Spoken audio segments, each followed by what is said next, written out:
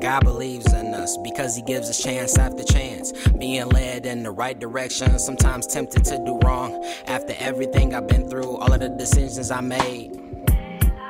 Somewhere I feel I went wrong. Am I another artist just pretending to care? Man, I swear, actions speak louder than words. Too many people. Ace, my creative mind works harder, trains harder, not to bring hip hop to shame and to get fame, but to do things that seem unbelievable to the audience around me. To new music, like my eyes burning, cause I'm up steady learning on how to get closer to my dreams. I get that feeling where it all.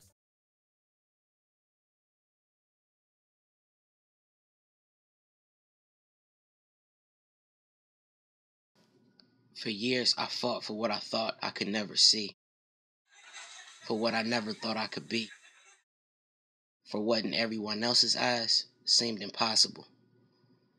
Looking at me today, the stories that I tell you, you probably can't believe, but I believe, and that's why I feel I am who I am today. Back then, if you would have told me I would be where I am today, the look in my eyes and in my face would tell you that there is no way I can believe. But because of all of you, I am who I am today. And for that, I thank all of you.